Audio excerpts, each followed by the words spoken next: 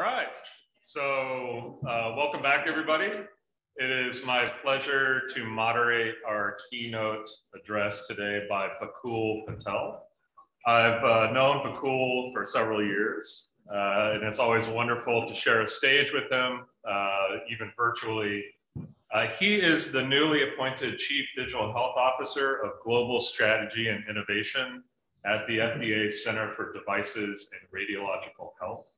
Before that, he was the founding director of the FDA's Digital Health Center of Excellence. And before that, he was the director of the Division of Digital Health at FDA. But regardless of his title, he has always been the person at FDA focusing on digital health. Um, and not only that, for almost a decade, he has been an important player in the International Medical Device Regulators Forum, which is a collaboration among almost a dozen regulators around the world. And he has led a committee on software as a medical device. Uh, so it's really great to talk to him and to, to have him answering our questions today. So please join me in giving a warm virtual welcome to Bakul Patel. Thank you, Nathan. Thank you for those kind remarks. Uh, great. So um, let's start. Uh, if you could tell us about your new role at FDA and how it differs from what you've been doing the last few years. I'm happy to. First of all, can you guys hear me clearly? Great. Um, Nathan, thank you for this kind introduction and, and um, so honored to be here uh, in front of you all. Um, my new role is actually uh, and really interesting and bold move by CDRH, which is Center for Devices, that really takes on um, and gives gives sort of this focus on health equity and equitable access to healthcare. Um, number one, and number two is really puts an important sort of on importance on global strategy that includes international collaborators and international regulators, not just the regulators but also the stakeholders so as you can imagine, that's more than a full-time job. Uh, and I, you know, I was given this opportunity to sort of take on that and focus my energy there to really move the needle on health equity and how digital health, um, with with sort of all the experiences that I've built so far, how can that be used to really advance health equity? And that that's in a nutshell. Yeah. So we had quite a bit of discussion at our earlier panels this mor- morning on using digital health to not only address health equity, but being mindful that algorithmic bias doesn't compromise the results. And you've spoken recently about the promise of digital health and meeting people where they are. Can you say a little bit more about that and how the FDA is making that happen? Yeah, a couple threads there, right, Nathan? I think you can imagine uh, technology such as wearables and such, before we even get to AI and ML, we can just talk about how ubiquitous consumer technology is now becoming part of health technology.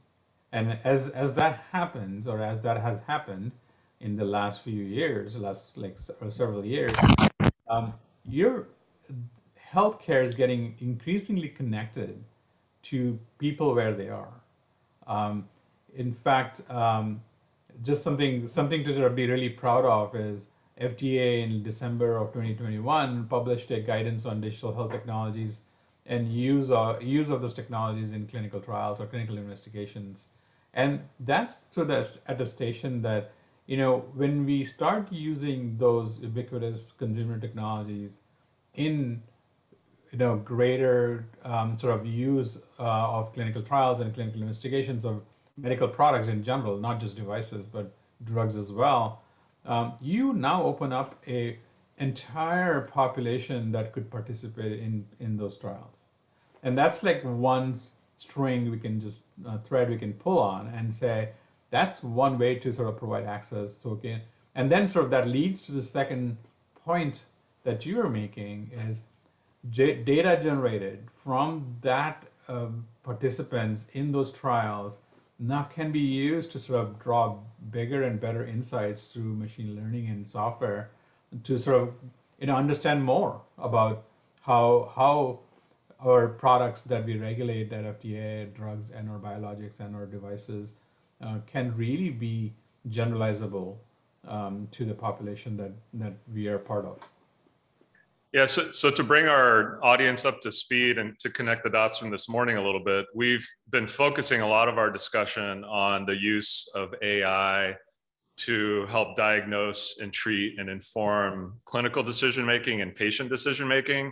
One important thing the FDA is doing that Bakul just mentioned is using AI to speed up and facilitate clinical trials. That includes for drugs, vaccines, other medicines. And so this is something we haven't even touched on yet. And we, we could spend a whole day talking about just that use of AI. So let me, let me go up to 30,000 feet for a minute here. Uh, you've been at FDA a long time. Can you tell us during your tenure at the agency how the agency's internal expertise and resources and personnel on software engineering and machine learning and AI and those types of things have improved? Because we, we think of FDAs, including a bunch of chemists, biochemists, and the like, who are able to evaluate drugs, but we don't often think of their technical expertise in other areas. So I'm curious, given your, your long tenure there, how the FDA's internal capacity has changed over the years. Great question, but actually, really, really important question, Nathan. I think when I started in 20, 2008, um, we we did have engineers. We did have people who understood software, but not not a whole lot, right? I think it was not ubiquitous. It was a pockets, a, a very strong, deep pockets of engineering expertise that exist, and you could count them onto your on your two hands. Um, the number of people that are out there, and of course, with when you have that small number, you can't reach everywhere. And so what happened was, um, 10 years ago even, the the the submissions coming in, uh, maybe I would just make a guess at this point. It's like 50% of them had software and and 50% did not have contain any software, and that has shifted in the last 10 years completely. Like pretty much every device that we we regulate today has software. On the on the flip side, I think computer-aided diagnostics in radiology have been a very strong field for a very, very long time, like beyond those 10 years, right? It's like 30 years um, that's been sort of going on. So we had people who were really, really versed in in radiology imaging, um, sort of aspects of um, aspects of computer software. Now, when you take that uh, uh, and fast forward it to today, um, not only we have diversity in people with understanding the technology, um, but also understanding applying what they knew already in radiology to other areas. So that's sort of one one dimension. I can tell you just in within my group, uh, we I started off as a single person and then I added like a couple more people to my team. Um, now we are at a team of 22 people focused on digital health, really understanding um, and diving deep into sort of aspects of policy, aspects of you know technology, aspects of like bringing other parts of the agency together as well. So yes, we have grown. Uh, I don't know what percentage that is from 10 to 22. It's almost 200% like growth from from where we are.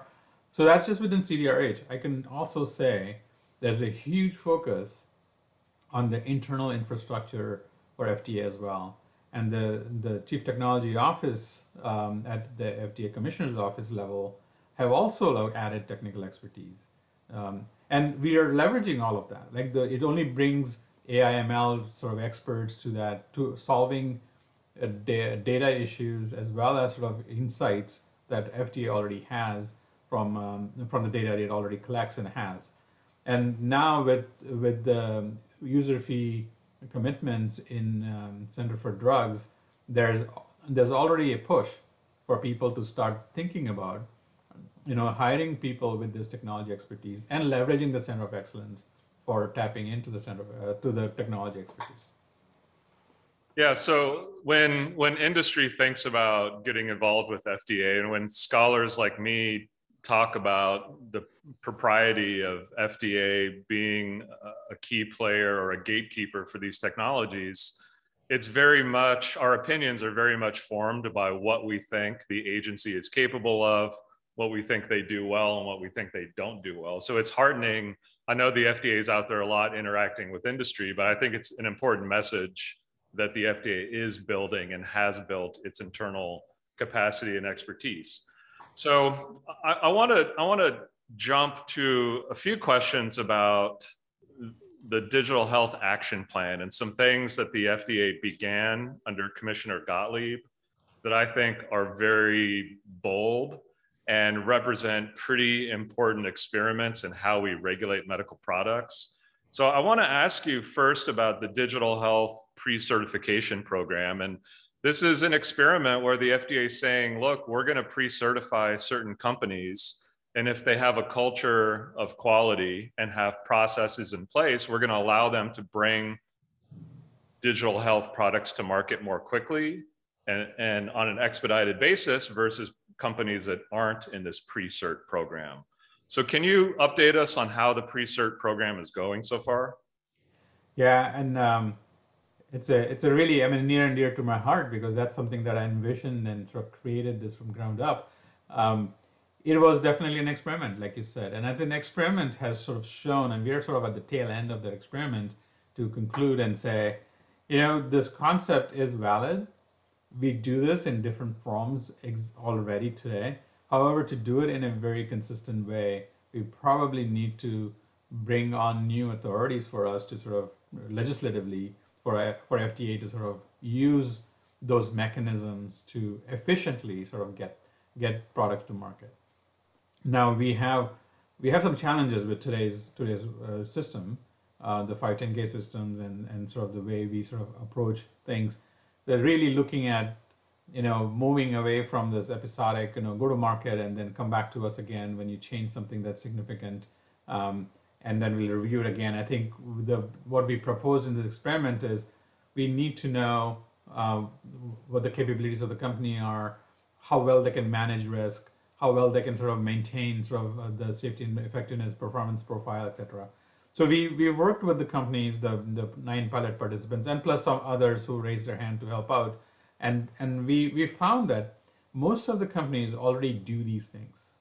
Now the challenge is going to be setting the standard for reporting to FDA, so we can we can translate um, big, small, you know, multinational versus versus other sort of dimensions of companies um, to sort of be reporting in a very standardized fashion to FDA and that's sort of the next level or next step needs to happen.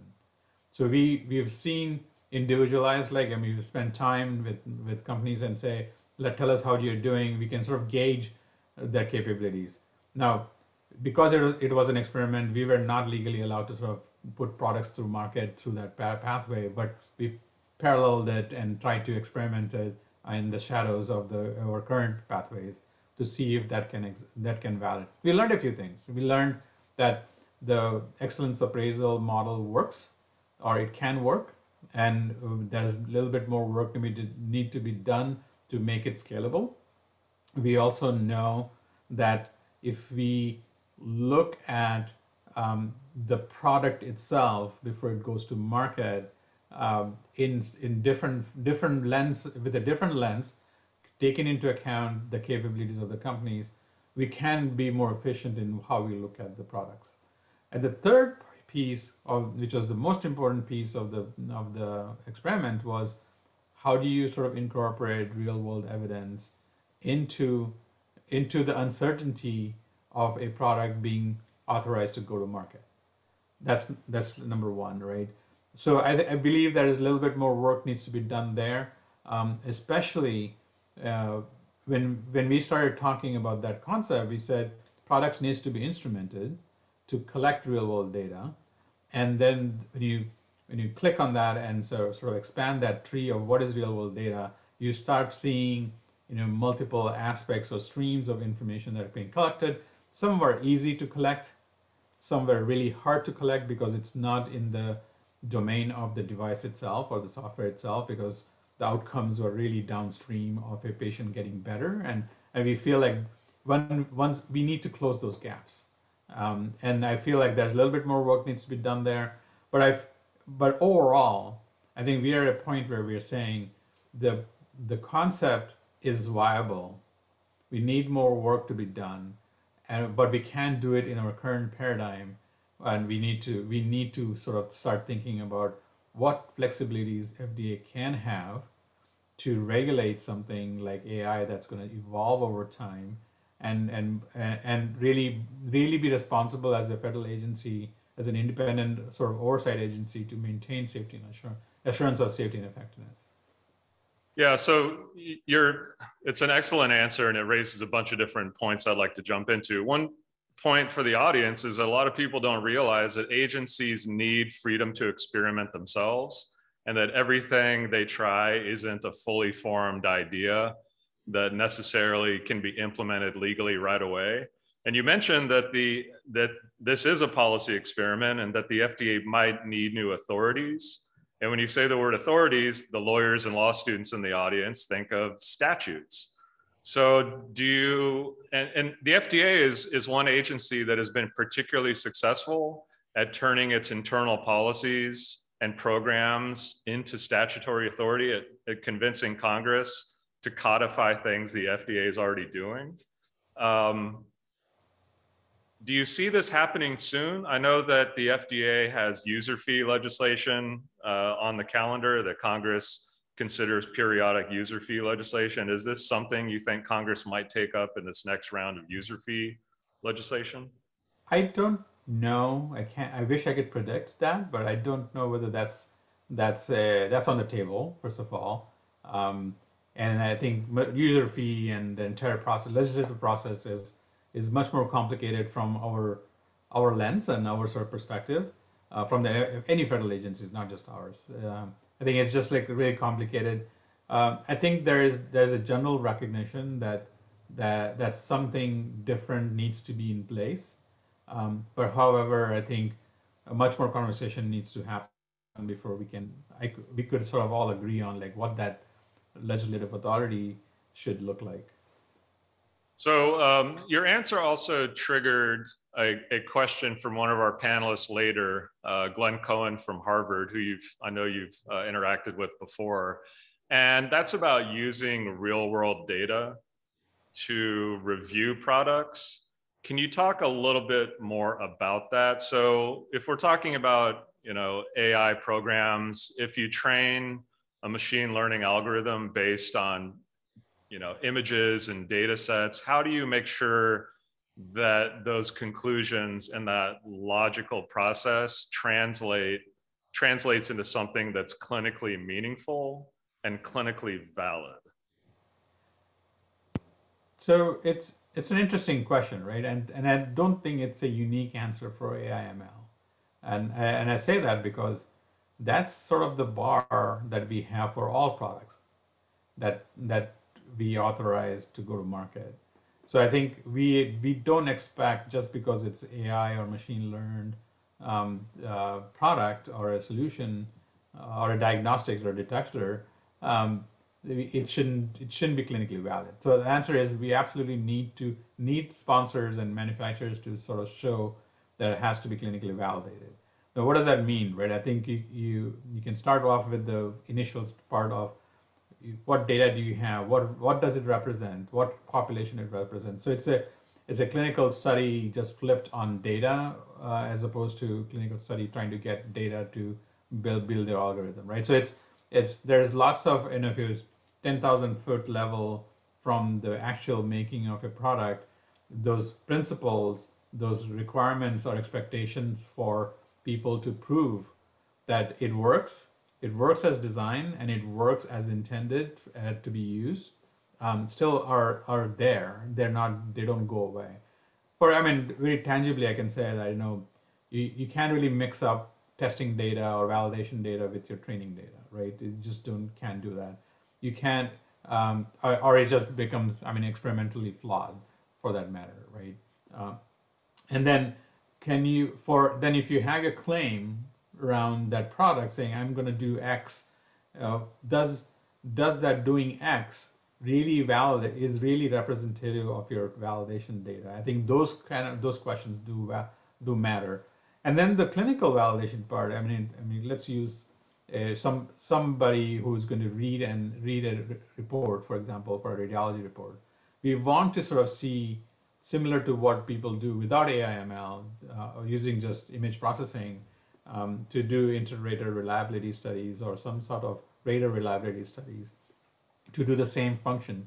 And I think those those expectations don't go away, and I think they're still valid. Um, just because it's AI/ML, I think you just have to st- you start off at a different spot. But I think, in fact, I was just having a conversation this morning with a bunch of regulators across the globe, and we were just talking about we not we don't think we have a different expectation because you're an machine learned sort of system versus a, a experimentally based uh, uh, algorithm that's sort of um, that sort of gets to the same answer. Yeah, uh, thanks for that. So that raises another related question about you know maybe the finish line is the same for AI products and non-AI products with machine learning products, one meaningful difference is that they can change a lot more quickly than a physical device can change. And one of our panelists at, at Oculogica earlier asked about how the FDA is accommodating these the capabilities of machine learning systems to change. And you know, I had a separate question about the change in control plan that uh, the FDA has talked about. So, can you talk about you know, if we have a heart stent or a hip implant, those things don't change on the fly, or yeah. we hope they don't. Um, they're physical devices, and it requires a lot to change them. With a machine learning algorithm, they're built to change. So, can you talk about the change in control plan and how the FDA accommodates these more dynamic product updates? Yeah, so we proposed a idea in 2019, and another, another sort of concept said, you know, if manufacturers or developers can predetermine predetermine areas that they anticipate changes because of data availability or just you know anticipated learning or the trajectory of the learning. Um, we would want to sort of get in agreement ahead of time so we know how those changes are managed right? I think the the con we know that changes are going to be inherent to these kind of products but if we had assurance that this changes are managed in the in the right way, in the right risk, sort of the same concepts of risk management. Can you can you maintain the safety and the performance profile of the product, um, and and not let it degrade, but only enhance? I think we want to sort of we wanted to get that assurance ahead of time, and and get going going back to a piece uh, piece of the puzzle from the pre-cert program is can you sort of do ahead of time so we can sort of get get you to market and not have you come back for those smaller changes. So that's like sort of intent. Now, of course, we had to put boundaries around, right? So if you can, you, you can't change an intended use from intended use A to intended use B because you're authorized to operate within those bounds. You're authorized to sort of your claims are made to be um, what we authorize you, and we're allowing you to sort of evolve better within those bounds, right? So I think it's just if your performance is increasing over time, that's great. We all want that. Um, and, but how are you going to manage degradation is really what we wanted to see in the change control pro protocol. So we, we've sort of done this um, in, in a couple cases, as you, you guys may have seen some of the some of the authorizations that we have. But I think they're sort of very limited, right? I think if you really think about um, how do we get special controls in place, that allows people who come through behind their first de novo um, application and maintain the change control protocol and manage it in a, in a responsible way. And that's kind of what we have been sort of trying out. Now, again, I think we could we do more? Uh, yes, I think if we had different authorities to sort of manage that better, we could do more. But I think within our current authorities, we were we were just being creative to sort of answering the demand of the question you just asked, Nathan, is like these these products are designed to change, and how do you manage that? So we said we can let you, however, you have to be responsible in how you do it.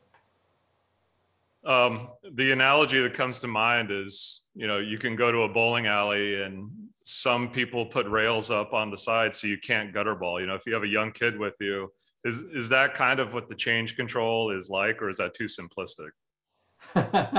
Um, yes, it is kind of. So you avoid avoid the ball going into the gutter. I think that's that's sort of the there's the analogy. That's like perfect. I haven't heard that analogy before, so it's good. Um, an, another another big experiment in the FDA's plans is the use of third parties to review these products. And again, it's based on the perfectly rational idea that the FDA doesn't have a monopoly of expertise here, and you might have really sophisticated third parties who are able to evaluate these products in a more uh, expedited fashion if companies need it have companies been making use of this and, and what are the preliminary results of this experiment?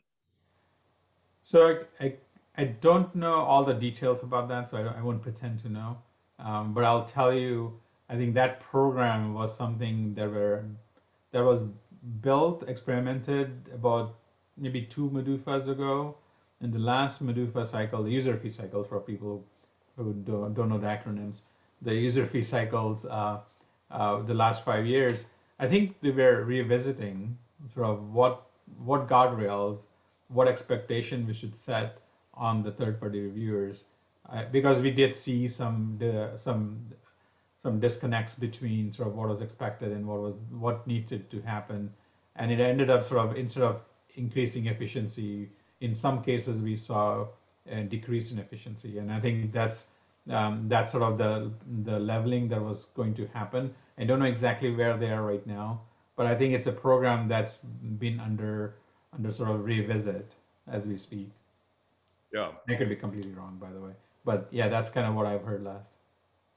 Um, another question I've been asked to ask you from one of our panelists is, to what extent has your team been involved in actual product reviews. So for 510Ks or the de novo applications, when companies are asking for FDA to give their blessing to a new product, is, is your digital health team involved in these reviews? Do you provide input? Are you just an observer? Um, actually, the last two. So we provide input and we are also observing. So in the initial Q submission process, we have been often asked to participate um, sometimes bridge the bridge and translate what what sponsors are saying. Sometimes there to just learn where where things are heading and what issues there are there are being that are raised. And I think we work behind the scenes with with the reviewers to sort of provide input and guidance and consistency in policy applications that we we have sort of established for for the for the center. So I think it's and then lately I think we've also been asked to be as a consultants to sort of help with the reviews itself, where certain certain groups may have expertise in house and certain groups may not. So I think we do we do sort of fill in that gap. So um, you've spoken recently about how a lot of a lot of digital health companies are really embracing the science in the area and looking to bring to market evidence-based products and in a lot of my classes on regulation, I talk about how a lot of regulation boils down to incentives, creating proper incentives to meet standards, creating disincentives to veer from those standards. Creating evidence-based products can be expensive and time consuming and burdensome. So how, how does FDA maintain the incentive for companies and innovators to generate evidence-based products, to generate sound science that proves their products do what they claim to do? Well, I think our work in publishing guidances and and explaining people what's expected and not this is not just very digital health focused but just generally i think and being open to experimentations with with ideas such as real world evidence and ex- expansion of claims is is sort of getting people to start seeing that you know there's value in getting and an authorization from FDA and not to just be in the in the non-regulated space. Um, also working actively and working um, working with people who bring in de novos, uh, especially in the world of digital therapeutics, where where there's new ground to be sort of um, formed. Um, I think that shows a sign of encouragement for people to see that it can it is possible to get through FDA. It might be um, it might be difficult, but it might the difficulty is more about you know what you expect your product to do versus what you can prove your product to do. And I think it's just very in, in my mind, I just equate it to that simple equation. It's like if you may dream, the product developer may dream to sort of solve a lot of problems, but if the product itself, because of whatever the reasons are, lack of data, lack of time, etc., may not be able to show that it actually uh, distinctly say they can do whatever that function that they want to do, then they have to sort of think about what can be done today and what can I prove it. Or, or and I, I usually have a slide which talks about you have to match your your what your product does to what your product can do, or what your product what you claim your product to do with what your product actually does, and those two parts of the equation should line up. And once you line that up, I think that's sort of that's the evidence generation, right? Because FDA will never tell you go no, you you are too low of a, a bar. You should go do more. That's not the point. The point is more about you know you should be equal in terms of your claims and your your capabilities of your product. That's not, so another thing that you know we recently did is published a list of products that have been authorized, and and AIML is like one of those one of those examples like of list to be published. That also shows people that it's not just me me as a developer being in the vacuum trying to see trying to figure out whether I can go to market or not. Um, and I think when people see, I, I, truly feel like when people see those lists up on FDA's website that being published, I think I feel like there's there's probably a push towards, yes, I can be a, a product that's similar to that, that I can fit under that product code and I can learn from what what this other product has done. So I feel like that's those are sort of mechanisms that we use um, in, in, directly or indirectly because we are not a paying authority, so we, we have to use our own tools to encourage people to come to um, uh, come to uh, come to market. Yeah, and I think the the FDA has done particularly well at trying to demystify the process. To be honest, drug and device approvals are mystifying. That whole process can be mystifying, particularly for an industry that's not used to regulation. And uh, the FDA has been over backwards to try to clarify its authorities and what's required. Um, I, I want to shift a little bit to your international work. So you've been heavily involved in the International Medical Device Regulators Forum, and you've worked over the past several years to create a common set of definitions and nomenclature for artificial intelligence, machine learning. Can you talk a little bit about your work and how some of this standard setting might set the stage for more harmonization internationally between regulators? Yeah, I think the body of work we did um, on software as a medical device, I think that has been as if you literally look at each country, I mean Japan, UK, now uh, European Union, uh, and the Commission uh, that represents EU, uh, Health Canada, Brazil, they have all been using the software as a medical device vocabulary. And I, I think that's just very satisfying to see uh, at the very minimum, a, a, maker of a product that's making in country A can literally walk into another country and use the same terms, and it they won't be looked upon as with with surprise, right? I think that's sort of the first intent. The second intent is uh, with the risk categorization that we put on, we put put, put forward as part of the work, um, it's been a fundamental sort of disconnect between manufacturers of technology and individual regulators. I think the the creation of that that document um, sort of even though it's not perfect, I'll be the first one to admit it's not the perfect document where you can draw very sharp lines um, we wanted to, I think the goal for that effort was to try to get grounded on all the things we agree upon, or at least start off with a place that we can we can agree upon.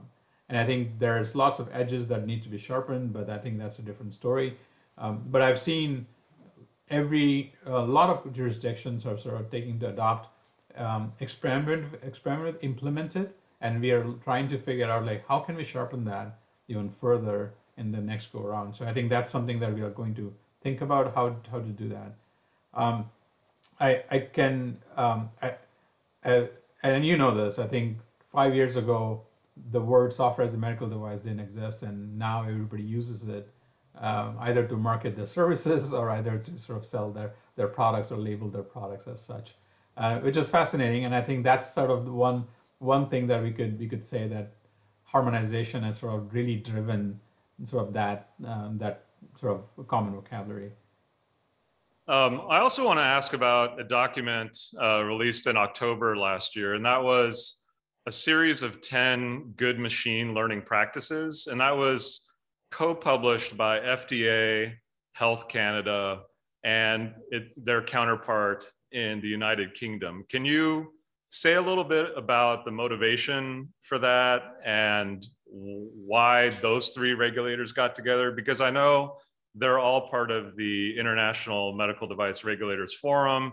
It was notable that you had 10 kind of concrete principles, which, you know, frankly make a lot of sense. I'm just curious what went into that and, and why now. Absolutely, I'm happy to share. It was it was another experiment. Um, it, uh, so uh, just a ba- sort of the behind the scenes sort of uh, work that happened there was we we well, backdrop for the last few years, um, and most of you guys may know this already, is there is pockets of work on machine learning being happening in various, various, various sort of settings. Uh, every time you turn around, you see, start seeing people actually either building a coalition, building a working group, or working on things that are very adjacent to each other, or sometimes even overlapping. And and there was really lack of like everybody wanted to work on things on machine learning, but but they all saw the problem from a very their own perspective. So that's like the first problem statement. Two, there seemed to be, I mean, there seemed to be lack of direction from any one body to say these are the areas that we need further work on. That was sort of the other part of the motivation. So just chatting informally with um, with uh, MHRA, um, uh, with the, which is the UK counterpart for medical device regulator. Uh, it, this was just an idea that emerged. We said, why don't we put out a principle uh, document limited to 10? Um, I would have loved to limit it to five, but I think we couldn't do that. Um, so we limited it to 10 to fit on one page. There was a limit. So guide people to sort of take on these 10 streams of ideas or 10 streams of principles that could be worked upon. The whole I, the motivation was if people coalesced around, you know, these 10 things and and there were 10 bodies working on 10 different things is much more productive than actually, you know, uh, 10 bodies working on one thing. Um, and I think that was the motivation around that. And then as as you saw in the document we laid out, we said, look, there might be standards not just in our industry, in, in health tech, or health health sector. There might be standards in other industry. There might be work happening in other industries. Bring them together because these are the important things that we feel as regulators are important for products that are brought to us or brought to healthcare system. And we happen so we coalesced, we aligned on so the stand principles. Um, obviously, you can imagine like lots of wordsmithing went into it, but I think it was easy to sort of do it with the three three regulators um, as an initial step for us to sort of see whether we can publish it. Amazingly enough, we were able to you know do this and publish it together, which was one one of the first feat that we really rejoiced and sort of really thankful that we were able to get it out. Um, and it showed sort of a alignment in in thinking of not just the problem set but also the solution sets that that existed within the three regulators. Um, and we are we are looking to sort of i mean it, it was not meant to be exclusive uh, to this three group um, but it was just a matter of logistics trying to get people aligned.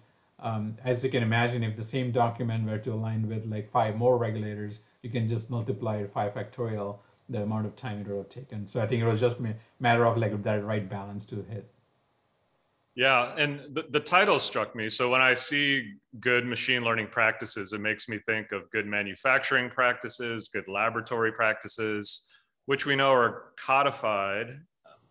Can someday we expect to see these good machine learning practices in the Code of Federal Regulations or perhaps a US statute? I don't know.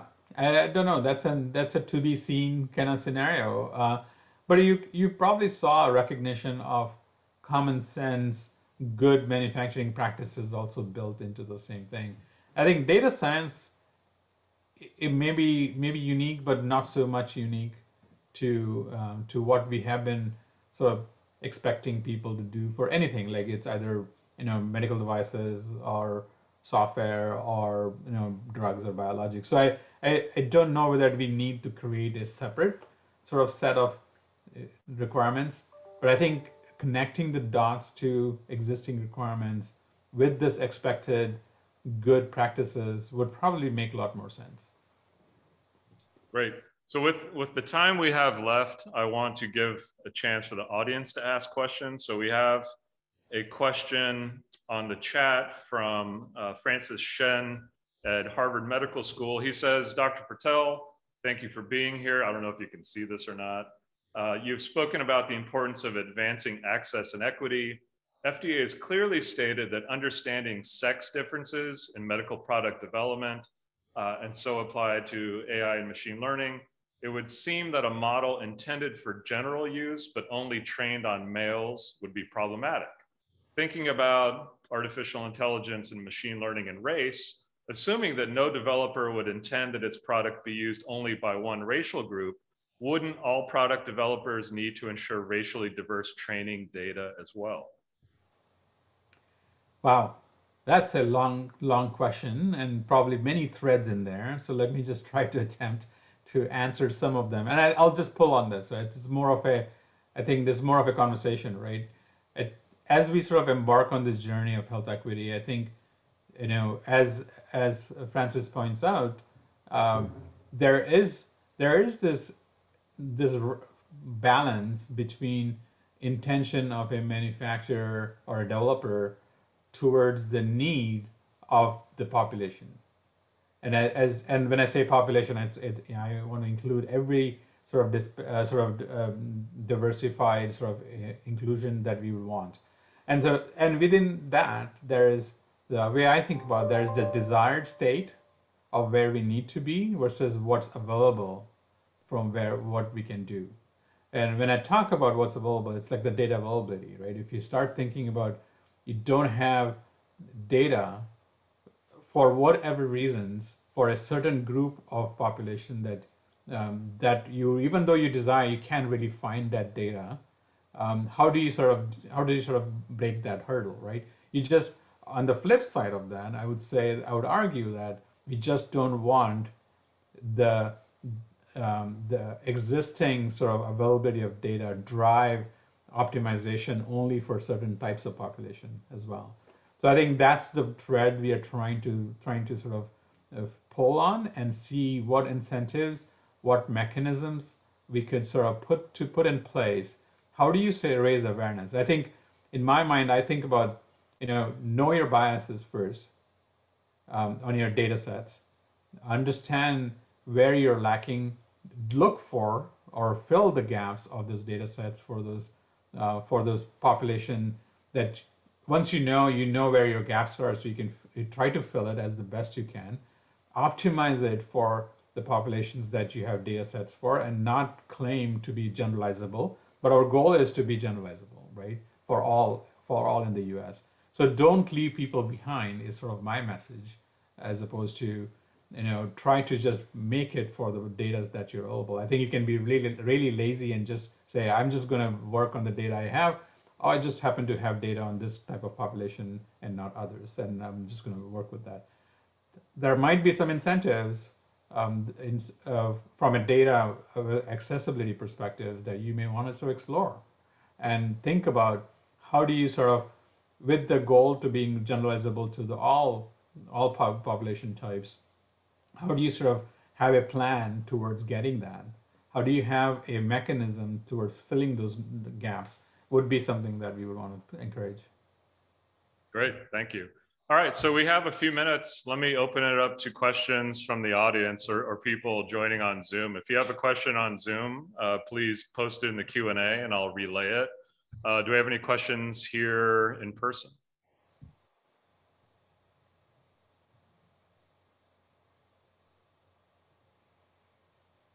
me check the queue.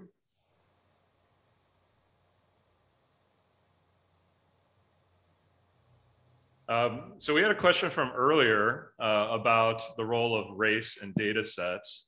Um, as medicine is going beyond a race-based understanding, such as removing the race component from uh, EGFR, uh, that's epidermal growth factor receptor, I think, uh, what's the role of race in AI? Has there been evidence for or against the role of race in data sets besides dermatology? Should, should we change this language to indicate geographic distribution? Um, I don't think we're ready for that yet. Um, I think we do. Uh, I think if we have to sort of understand even physiological differences between different races, and we all know um, different populations groups exhibit different things at different times and a different rate.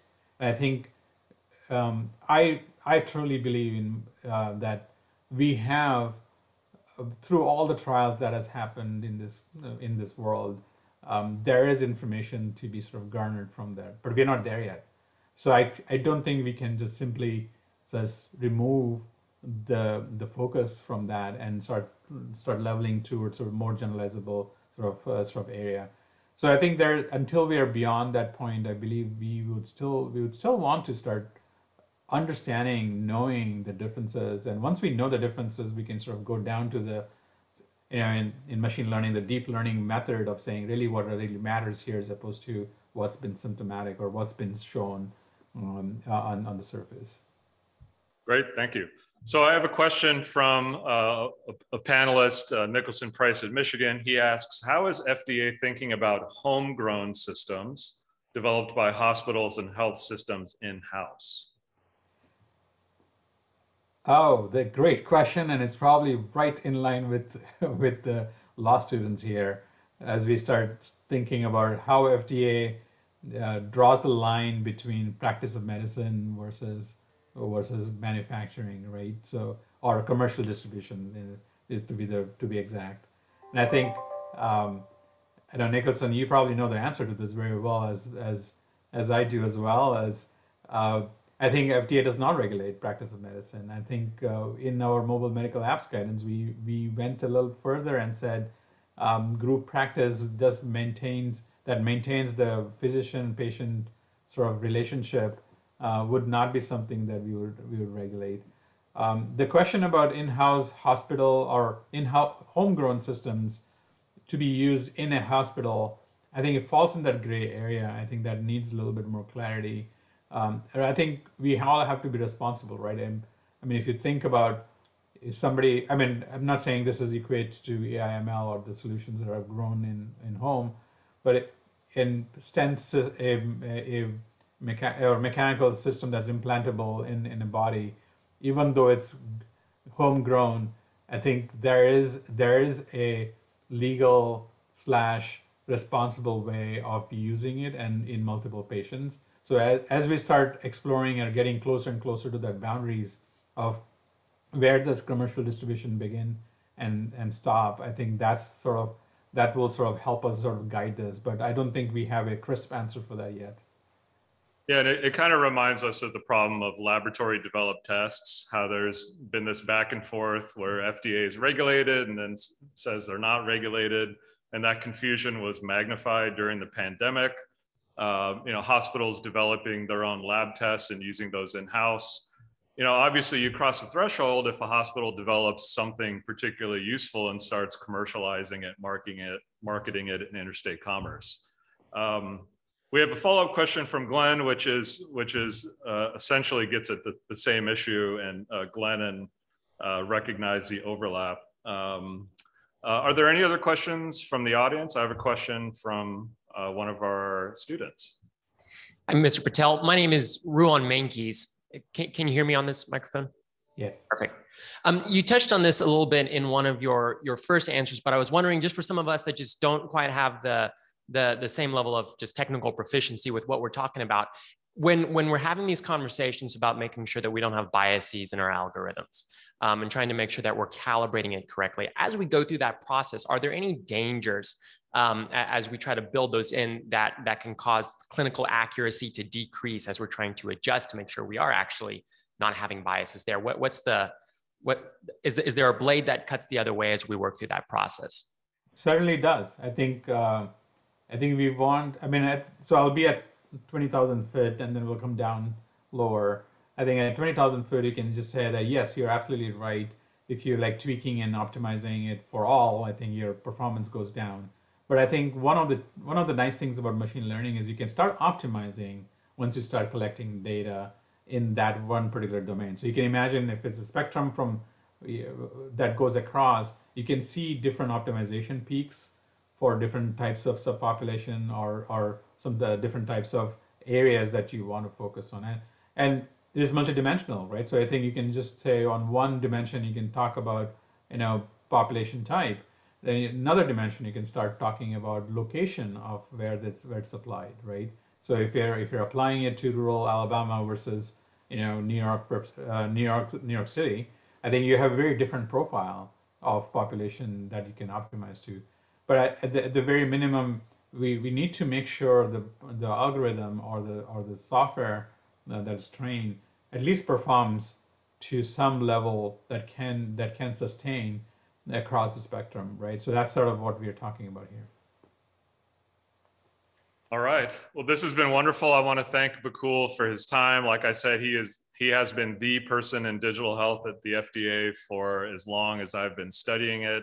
Uh, so join me in thanking uh, Mr. Patel for speaking to us today.